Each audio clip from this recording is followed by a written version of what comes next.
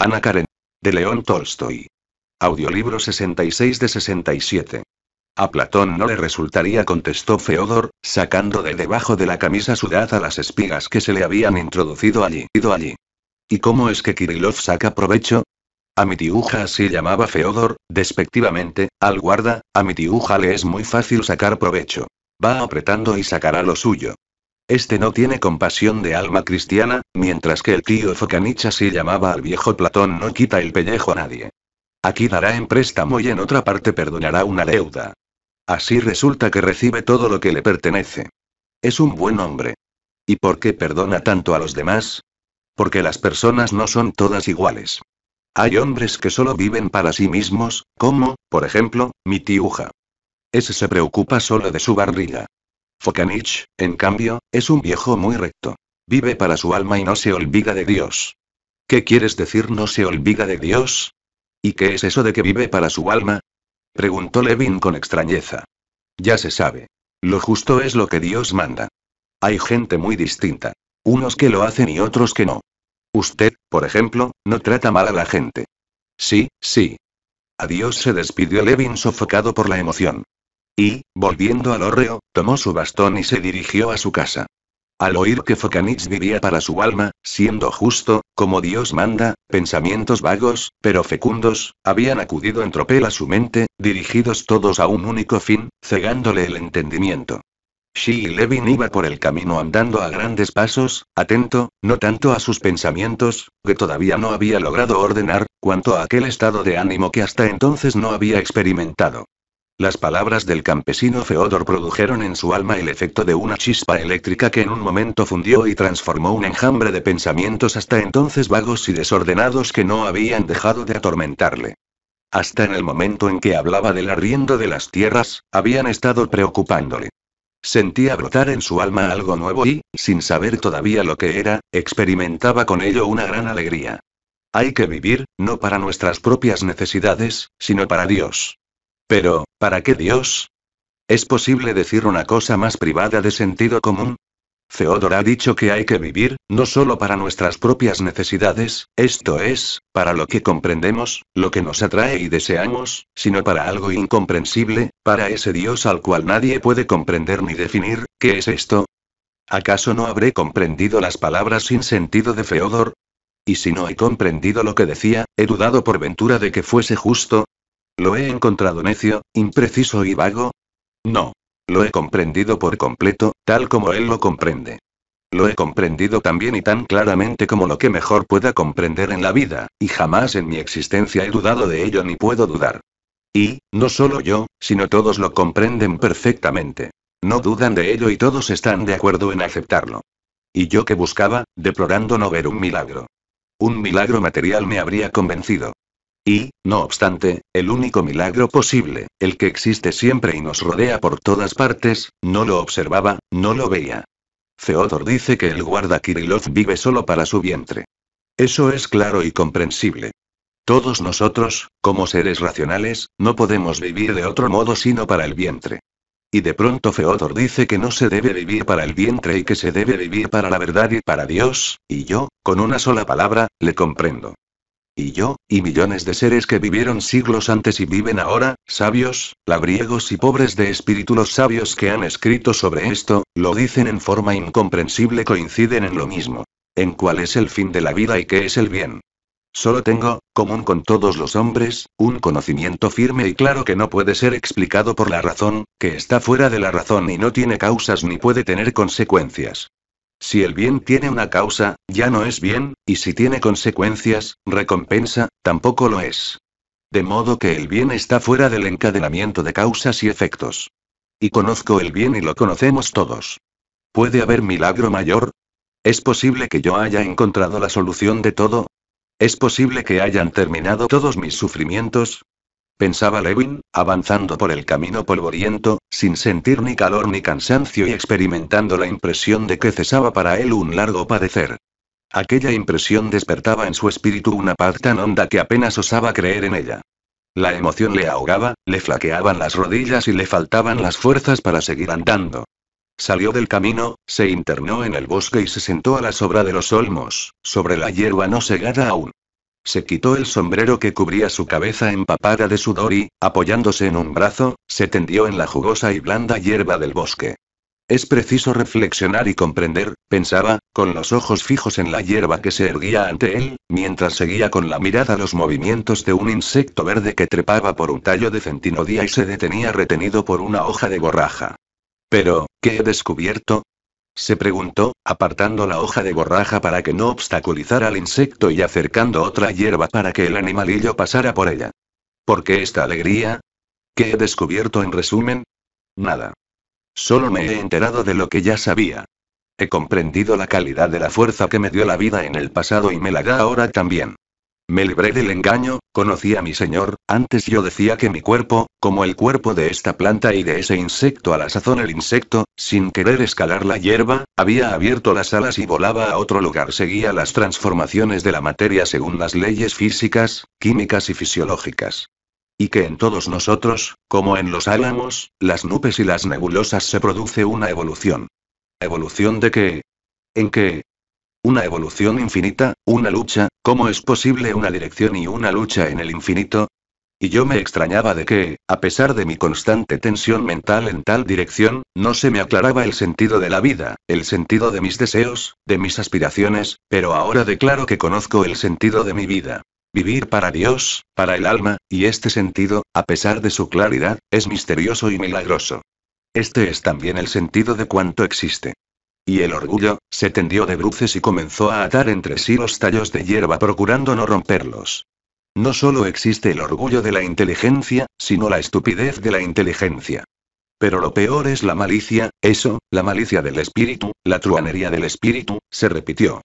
Y enseguida recorrió todo el camino de sus ideas durante aquellos dos años, cuyo principio fue un pensamiento claro y evidente sobre la muerte al ver a su hermano querido enfermo sin esperanzas de curación. En aquellos días había comprendido claramente que para él y para todos no existía nada en adelante sino sufrimiento, muerte, olvido eterno. Pero a la vez había reconocido que así era imposible vivir, que precisaba explicarse su vida de otro modo que como una ironía diabólica, o, de lo contrario, pegarse un tiro. Él no hizo ni lo uno ni lo otro, sino que continuó viviendo, sintiendo y pensando, a incluso en aquella época se casó, y experimentó muchas alegrías y fue feliz entonces que no pensaba para nada en el sentido de la vida. ¿Qué significaba, pues, aquello? Que vivía bien y pensaba mal. Vivía, sin comprenderlo, a base de las verdades espirituales que mamara con leche de su madre, pero pensaba, no solo no reconociendo tales verdades, sino apartándose de ellas deliberadamente. Y ahora veía claramente que solo podía vivir merced a las creencias en que fuera educado. ¿Qué habría sido de mí y cómo habría vivido de no tener esas creencias si no supiese que hay que vivir para Dios y no solo para mis necesidades? Hubiese robado, matado, mentido. Nada de lo que constituyen las mayores alegrías de mi vida habría existido para mí. Y aun con los máximos esfuerzos mentales no podía imaginar el ser bestial que hubiese sido de no saber para qué vivía. Buscaba contestación a mi pregunta. El pensamiento no podía contestarla, porque el pensamiento no puede medirse con la magnitud de la interrogación. La respuesta me la dio la misma vida con el conocimiento de lo que es el bien y lo que es el mal. Y ese saber no me ha sido proporcionado por nada. Me ha sido dado a la vez que a los demás, puesto que no pude encontrarlo en ninguna parte. ¿Dónde lo he recogido? He llegado por el razonamiento a la conclusión de que hay que amar al prójimo y no causarle daño, me lo dijeron en mi infancia y lo creí, feliz al confirmarme los demás lo que yo sentía en mi alma. ¿Y quién me lo descubrió? No lo descubrió la razón. La razón ha descubierto la lucha por la vida y la necesidad de aplastar a cuantos me estorban la satisfacción de mis necesidades. Tal es la deducción de la razón. La razón no ha descubierto que se amase al prójimo, porque eso no es razonable. y Levin recordó una escena que había presenciado poco antes entre Dolly y sus hijos. Los niños, habiendo quedado solos, comenzaron a cocer frambuesas a la llama de unas bujías y a echar la leche por la boca como un surtidón Dolly, al sorprenderlos, comenzó a explicarles, en presencia de Levin, el mucho trabajo que a las personas mayores les costaba preparar aquello que destruían, y que tal trabajo se hacía por ellos. Que si rompían las tachas, no tendrían dónde tomar el té, y si arrojaban la leche al suelo, se quedarían sin comer y morirían de hambre. A Levin le sorprendió la tranquila incredulidad con que los niños parecían escuchar las palabras de su madre. solo se sentían descontentos de ver interrumpido su interesante juego, de lo que su madre les decía no creían una palabra. Y no lo creían porque no podían comprender el conjunto de todo aquello de que gozaban, y les era imposible, por tanto, imaginar que estaban destruyendo lo que necesitaba para vivir. Todo esto está bien, pensaban. Pero, ¿acaso lo que nos dan tiene tanto valor? Siempre es lo mismo, hoy como ayer, y como mañana, y nosotros no tenemos que pensar en ello. Pero ahora hemos querido inventar algo nuevo, personal. Y así hemos metido las frambuesas en las tazas y las hemos cocido a la llama de la vela, y nos hemos llenado la boca de leche y la hemos lanzado como un surtidor. Esto es divertido y nuevo. ¿Y acaso no hacemos nosotros lo mismo? ¿No lo he hecho yo buscando mediante la razón la significación de las fuerzas de la naturaleza y el sentido de la vida humana? Continuaba pensando Levin. ¿No hacen lo mismo todas las teorías filosóficas, llevándonos mediante el razonamiento, de un modo extraño a la vida humana, a la revelación de verdades que el hombre sabe ya desde mucho tiempo y sin las cuales no podría vivir? No se ve claramente en el desarrollo de la teoría de cada filósofo que él sabe de antemano, como el labriego Feodor y no más claramente, el verdadero sentido de la vida, y que tiende solo a demostrar por caminos equívocos verdades universalmente reconocidas, que se deja a los niños solos, para que ellos mismos adquieran lo que les hace falta, construyan las tachas, ordenen la leche, etc. ¿Realizarían travesuras? Se morirían de hambre. Que se nos deje a nosotros, entregados a nuestras pasiones y pensamientos, sin la idea del Dios único y creador. ¿Qué haríamos, sin tener noción del bien y el mal, sin explicamos el mal moral? Probemos sin esas ideas a construir algo. Lo destruiríamos todo, porque nuestras almas están saciadas.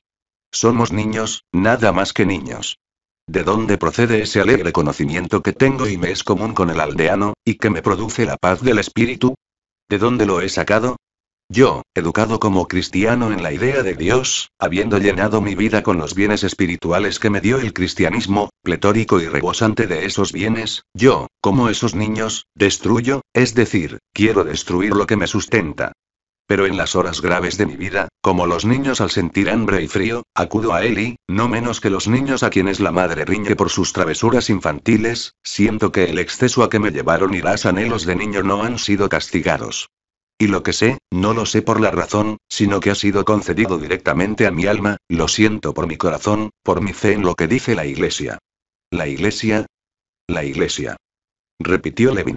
Cambió de postura y, apoyándose en el codo, miró a lo lejos, más allá del rebaño que, en la otra orilla, bajaba hacia el río.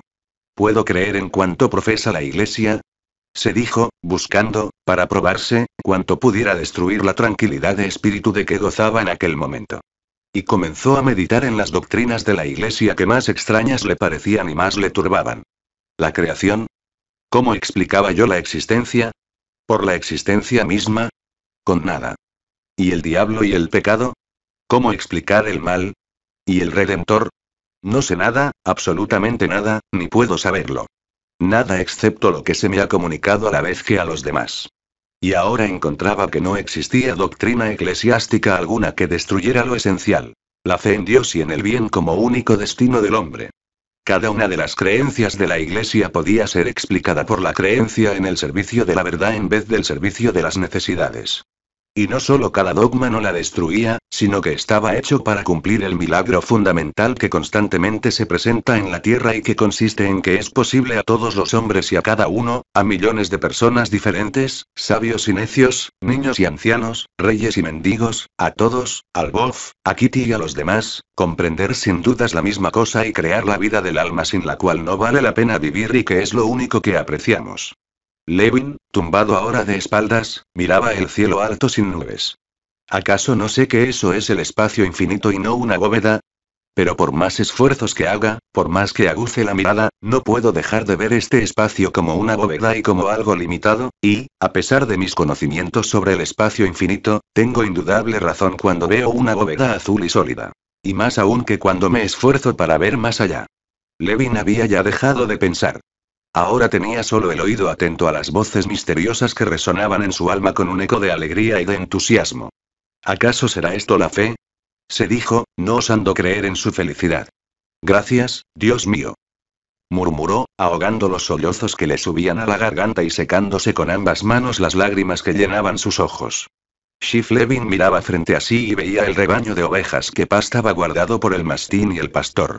Luego vio su Tilbury tirado por Borono y como el cochero, al llegar al rebaño, hablaba algo con el pastor.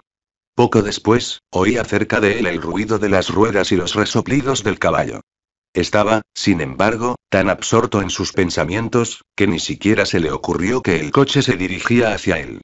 Únicamente lo advirtió cuando el cochero, hallándose ya a su lado, le habló. Me manda la señora. Han llegado su hermano y otro señor. Levin se sentó en el cochecito y tomó las riendas. Estaba aún como acabado de despertar de un sueño y durante mucho rato apenas se dio cuenta de lo que hacían y de dónde estaba. Miraba a su caballo, al que sujetaba por las riendas, cubiertos de espuma las patas y el cuello. Miraba al cochero Iván, sentado a su lado. Recordaba que le esperaba su hermano. Pensaba que su mujer estaría inquieta por su larga ausencia y procuraba adivinar quién era aquel señor que había llegado con su hermano. Y el hermano, y su mujer, y el desconocido se le presentaban ahora en su imaginación de modo distinto a como los veía antes. Le parecía que ahora sus relaciones con todos habrían de ser muy diferentes. Ahora no habría entre mi hermano y yo la separación que ha habido siempre entre nosotros. Ahora no disputaremos ya nunca. Nunca más tendré riñas con Kitty. Con el huésped que ha llegado, quien quiera que sea, estaré amable, seré bueno. Lo mismo que con los criados y con Iván. Con todos seré un hombre distinto. Reteniendo con las riendas tensas al caballo, que resoplaba impaciente, como pidiendo que le dejaran correr en libertad, Levin miraba a Iván, sentado a su lado, el cual sin tener nada que hacer con las manos las ocupaba en sujetarse la camisa, que se le levantaba e hinchaba con el viento. Levin buscaba pretexto para entablar conversación con él. Quiso decirle que había apretado demasiado la barriguera. Pensó enseguida que esto le parecería un reproche y quería tener una conversación amable. Pero ningún otro tema sobre el cual conversarle acudía a la imaginación. Señor, haga el favor de guiar a la derecha. Allí hay un tronco, le dijo Iván, con ademán de coger las riendas. Te ruego que no toques las riendas y no me des lecciones, contestó Levin ásperamente. La intervención del cochero le irritó como de costumbre. Y enseguida pensó, con tristeza, que estaba equivocado al creer que su estado de ánimo podía cambiar fácilmente. A un cuarto de versta de la casa, Levin vio a Richa y a Tania que corrían a su encuentro. Tío Costia, allí vienen mamá y el abuelito, y Sergio Ivanovich y un señor decían los niños subiendo al coche. ¿Y quién es ese señor? Un hombre muy terrible que no cesa de mover los brazos. Así dijo Tania, levantándose del asiento e imitando el gesto habitual de Katabasov. ¿Es viejo o joven? Preguntó Levin, al cual el ademán de Tania le recordaba a alguien, pero sin poder precisar a quién. Ah, se dijo, al menos que no sea una persona desagradable. Solo al dar vuelta al camino y ver a los que iban a su encuentro, Levin recordó a Katabasov, con su sombrero de paja, moviendo los brazos como había indicado Tania. A Katabasov le gustaba mucho hablar de filosofía, aunque la comprendía mal, como un especialista de ciencias naturales que era que nunca estudiaba filosofía. Durante su estancia en Moscú, Levin había discutido mucho con él sobre estas cuestiones. Lo primero que recordó Levin al verle fueron aquellas discusiones en las que aquel ponía siempre un gran empeño en quedar vencedor. No, no voy a discutir, ni a exponer a la ligera mis pensamientos por nada del mundo, se dijo aún. Saltando del ribulri, tras saludar a su hermano y a Katabasov, Levin preguntó por Kitty. Se llevó a mi tía a Kolok, así se llamaba el bosque que había cerca de la casa. Ha querido arreglarle allí porque en la casa hace demasiado calor, explicó Dolly. Levin aconsejaba a su mujer que no llevase el niño al bosque, porque lo consideraba peligroso, por lo cual esta noticia le desagradó. Siempre anda llevando al pequeño de un lugar a otro, dijo el viejo príncipe. Le he aconsejado que le llevase a la nevera. Kitty pensaba ir luego al colmenar, suponiendo que estarías allí. Podríamos ir hacia allá, dijo Dolly. ¿Y qué estabas haciendo tú? preguntó Sergio Ivanovich a su hermano, al quedarse atrás con él. Nada de particular. Me ocupo, como siempre, de los asuntos de la propiedad, contestó Levin. ¿Y por cuánto tiempo has venido? preguntó, a su vez, a Sergio Ivanovich. Te esperaba hace ya días. Por un par de semanas, contestó Sergio. Tengo mucho que hacer en Moscú. En esto, los ojos de los dos se encontraron, y no obstante su deseo de estar afectuoso con Sergio y amable y sencillo con el príncipe, Levin sintió que le irritaba mirar a su hermano y bajó la vista sin saber qué decir. buscando temas de conversación que fueran agradables a Sergio Ivanovich, aparte de la guerra serbia y la cuestión eslava, a las cuales había aludido de manera velada al hablar de sus ocupaciones en Moscú, se puso a hablarle de la obra que había publicado últimamente. ¿Y las críticas de tu libro? Le preguntó. ¿Qué tal te tratan? Sergio Ivanovich sonrió comprendiendo que no era espontánea la pregunta. Nadie se ocupa de él y yo menos que nadie contestó con displicencia. Y, cambiando de conversación, se dirigió a Dolly. Daría Alejandrovna, mire, va a llover, dijo, indicando con su paraguas unas nubes blancas que corrían sobre las copas de los álamos. Y bastaron estas palabras para que aquella frialdad que quería evitar Levin en sus relaciones con su hermano se estableciera entre los dos. Levin se acercó a Katabasov. Qué acertado ha estado usted decidiéndose a venir. Ya hace tiempo que quería haberlo hecho. Ahora podremos discutir con más calma, ¿ha leído usted a Spencer? No lo he terminado, dijo Levin. De todos modos, ahora no lo necesito. ¿Cómo? Es interesante, ¿por qué no lo necesita? Quiero decir que la solución de las cuestiones que me interesan en la actualidad no la encontraría en él ni en sus semejantes.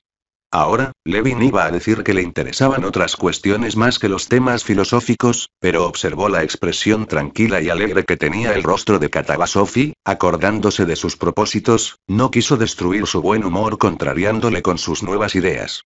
De todos modos, ya hablaremos después, añadió, condescendiente. Si vamos al colmenar, es por aquí, por este sendero, dijo, dirigiéndose a los demás. Al llegar, por el camino estrecho, a una explanada rodeada de brillantes flores de Juan María y donde crecían también espesos arbustos de verde oscuro chenusitza, Levin hizo sentar a sus acompañantes en los bancos y troncos instalados allí para los visitantes del colmenar a la sombra fresca y agradable de unos álamos tiernos, y él se dirigió al colmenar para traer pan, pepinos y miel fresca. Con gran cuidado y atento al zumbido de las abejas que cruzaban el aire ininterrumpidamente, llegó por un sendero hasta el colmenar. Al entrar, una abeja se lanzó hacia él zumbando y se le enredó en la barba. Se deshizo de ella y pasó al patio, cogió una redecilla que estaba colgada en una pared, se la puso, se metió las manos en los bolsillos del pantalón y siguió hacia las colmenas. En filas regulares, atadas a estaquitas, estaban las colmenas viejas, cada una con su historia, que él conocía. A lo largo de la cerca que rodeaba el colmenar se veían las nuevas instaladas aquel año. A la entrada de las colmenas revoloteaban nubes de abejas y de zánganos, mientras las obreras volaban hacia el bosque atraídas por los tilos en flor y regresaban cargadas del dulce néctar. Y todo el enjambre, obreras diligentes, zánganos ociosos, guardianas despiertas dispuestas a lanzarse sobre cualquier extraño al colmenar que tratara de acercarse allí, dejaban oír las notas más diversas en el aire encalmado que se confundían en un continuo y bronco zumbido. En la otra parte de la cerca, el encargado del colmenar cepillaba una tabla. El viejo campesino no vio a Levin y este no le llamó. Estaba contento de quedarse solo para recobrar la tranquilidad de su ánimo, que ya se había alterado en aquel corto contacto con la realidad. Recordó, con pesar, que se había enfadado contra Iván, que había demostrado frialdad a su hermano y hablado con ligereza a Katabasov. ¿Es posible que todo aquello haya sido cosa de momento y que pase todo sin dejar huella? Se dijo. Y en aquel mismo instante sintió con alegría que algo nuevo e importante acaecía en su alma. Solo por unos instantes la realidad había hecho desaparecer, como cubriéndola por un negro velo, aquella calma espiritual hallada por él y que ahora recobraba de nuevo, porque solo había permanecido oculta en el interior de su alma. Así como las abejas que volaban alrededor suyo y amenazaban picarle le distraían, le hacían perder la tranquilidad material, obligándole a encogerse, a resguardarse, del sino modo las preocupaciones que le habían asaltado a partir del momento en que montara en el Tilbury con el cochero, habían privado de tranquilidad a su alma. Pero esto había durado tan solo mientras estuvo entre Iván, el príncipe, Katabasov y Sergio Ivanovich. Lo mismo que, a pesar de las abejas, conservaba su fuerza física, así sentía de nuevo dentro de él la fuerza espiritual que había recibido. Xsube, ¿sabes a quién ha encontrado tu hermano en el tren, Costia? Preguntó Dolly, después de repartir a los niños pepinos y miel. A Bronsky. Va a Serbia. Y lleva un escuadrón a sus expensas, añadió Katabasov. Es una cosa digna de él, dijo Levin. Pero, ¿es que todavía marchan voluntarios? Preguntó, mirando a su hermano.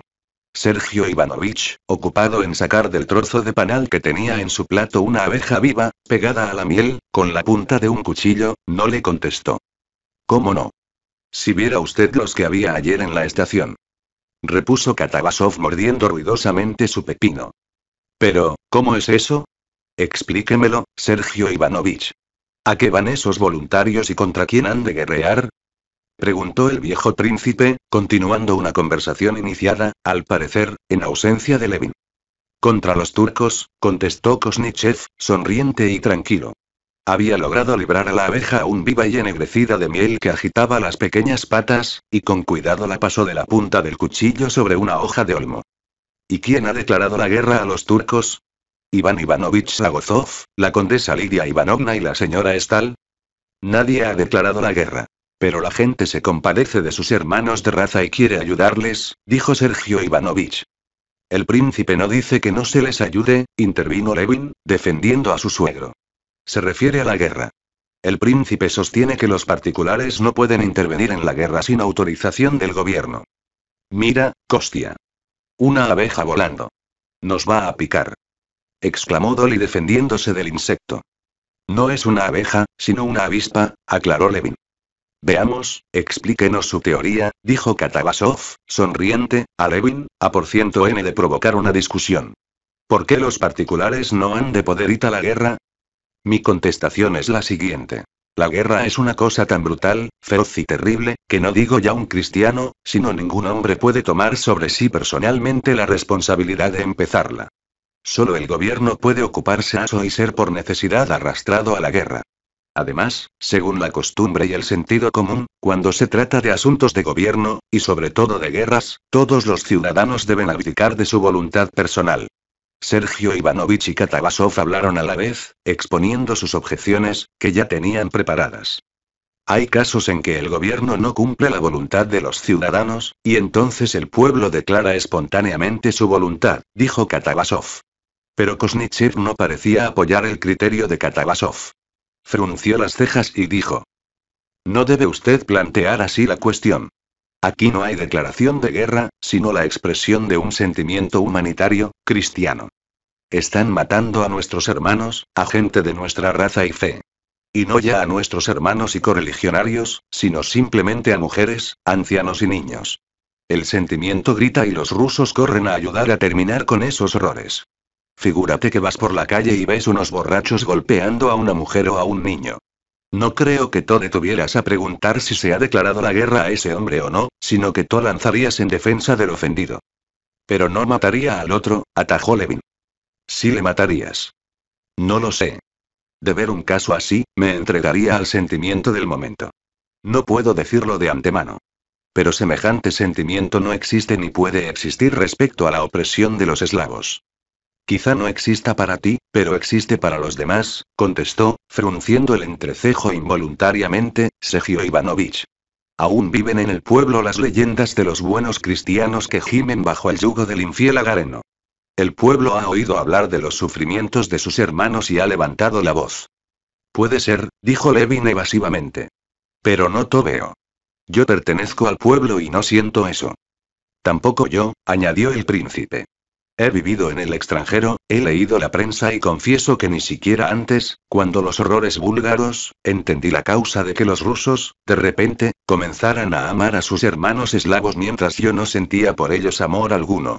Me entristecí mucho, pensando ser un monstruo o atribuyéndolo a la influencia de Karlsbad, pero al llegar aquí me tranquilicé viendo que hay mucha gente que solo se preocupa de Rusia y no de sus hermanos eslavos. También Konstantino Dmitrievich piensa así, dijo señalándole. En este caso, las opiniones personales no significan nada, respondió Kosnichev. Las opiniones personales no tienen ningún valor ante la voluntad de toda Rusia expresada con unanimidad. Perdone, pero no lo veo. El pueblo es ajeno a todo eso, repuso el príncipe. No, papá. Acuérdate del domingo en la iglesia, dijo Dolly, que escuchaba la conversación. Dame la servilleta, haz el favor, dijo al anciano, que contemplaba, sonriendo, a los niños. Es imposible que todos, ¿qué pasó el domingo en la iglesia? preguntó el príncipe. Audiolibro generado por Leer con los oídos.